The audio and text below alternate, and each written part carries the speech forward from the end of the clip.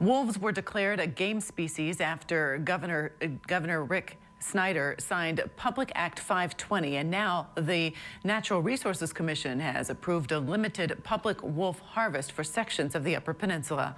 Michigan wolves were removed from the federal list of endangered species over a year ago following the biennial survey conducted by the DNR.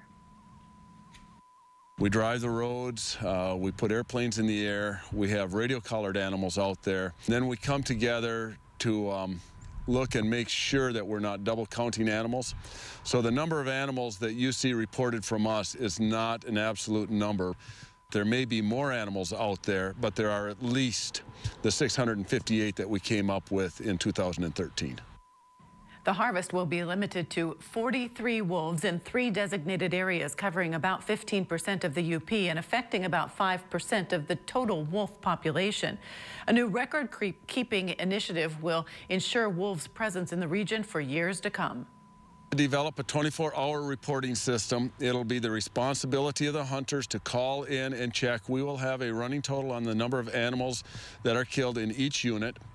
And as we approach and, and achieve our goals in those units, those units will be shut down.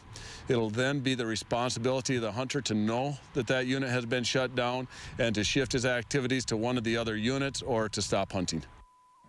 Wolf hunting licenses will go on sale over the counter on August 3rd. Only 1,200 will be sold. Those will be on a first come, first served basis. Once those have been purchased, no additional licenses will be issued.